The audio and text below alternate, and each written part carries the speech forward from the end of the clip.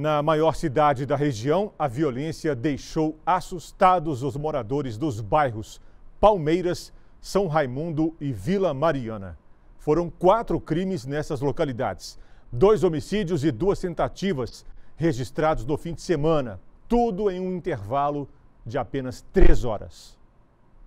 O primeiro assassinato foi registrado em frente a um templo religioso no bairro Palmeiras, em Governador Valadares. A perícia da Polícia Civil contabilizou 15 perfurações por disparos de arma de fogo no corpo de Bruno Carlos de Freitas, de 40 anos. Segundo a Polícia Militar, a vítima possuía passagens criminais.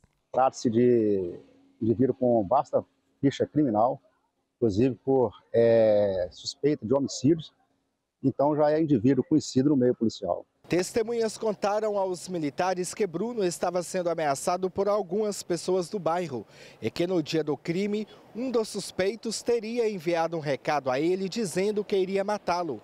Ainda conforme o boletim de ocorrência, a vítima teria atritos com alguns moradores, o que pode ter sido a motivação do crime. A ocorrência também traz a informação de que Bruno foi preso em 2020 por envolvimento na morte de um parente dos suspeitos.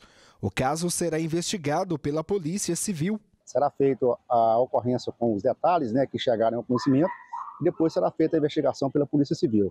Mas o que se tem conhecimento é que o indivíduo ele possui é, atritos com outros aqui do bairro mesmo, possivelmente tenha sido isso que motivou o crime. Já no bairro São Raimundo, Marcelo Coelho de Oliveira, de 19 anos, também foi morto por pelo menos oito disparos. O crime foi nas dependências de um conjunto habitacional. Outro homem de 31 anos ficou ferido depois de ser atingido e foi levado ao hospital. A polícia militar apurou que Marcelo e o homem ferido conversavam com o rapaz quando outras pessoas chegaram e também começaram a interagir. Momentos depois, elas atiraram. Após a ação criminosa, os suspeitos fugiram do local. A polícia militar foi acionada para comparecer ao local onde havia suspeitas de disparo de arma de fogo.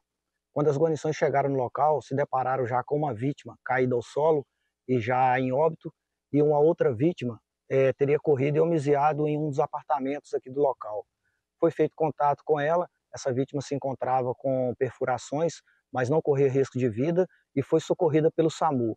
Já a outra vítima, infelizmente, veio a óbito no local. O celular de Marcelo Coelho foi recolhido para ajudar nas investigações. Segundo a polícia, as vítimas têm registros nos sistemas de segurança. Todos os dois, tanto a vítima do homicídio consumado quanto a do tentado, já são conhecidos no meio policial, possuem várias passagens por diversos tipos de crimes. A motivação e a autoria são investigadas. A princípio estamos em levantamento, tem alguns indícios, né? já tem algumas linhas que a gente vai seguir, mas é friso e aproveito a oportunidade para aquela pessoa da sociedade que puder ajudar com algum tipo de informação será bem-vindo, lembrando que a identidade será mantida no mais absolutamente sigilo. Tentativa de homicídio também foi registrada no bairro Vila Mariana. Um homem de 30 anos foi atingido a tiros.